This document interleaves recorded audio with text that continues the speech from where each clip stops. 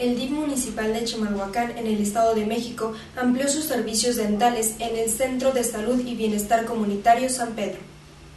El nuevo laboratorio de prótesis dentales cuenta con equipo especializado para realizar piezas como puentes removibles, placas, coronas de tres cuartos e incrustaciones.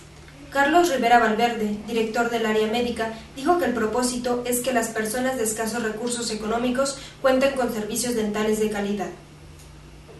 Habitantes de la colonia Mariano Otero, en Pachuca, Hidalgo, agradecieron al movimiento antorchista la realización de obras públicas. En el marco de la inauguración de tres calles pavimentadas y una barda perimetral del Jardín de Niños de nueva creación de la colonia, Guadalupe Morales, presidenta del Comité de Vecinos, dijo que gracias al antorchismo hidalguense, su colonia ha progresado significativamente.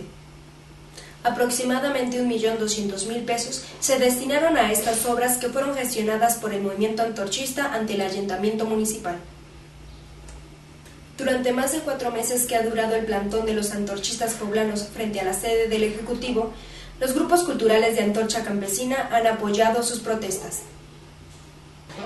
Su voz y talento para manifestarse culturalmente, ya sea en canto, danza, teatro o poesía, todos los días envían un mensaje de reclamo a las autoridades marinistas por la falta de sensibilidad política hacia la gente pobre, que pide los servicios públicos más elementales de los que carece.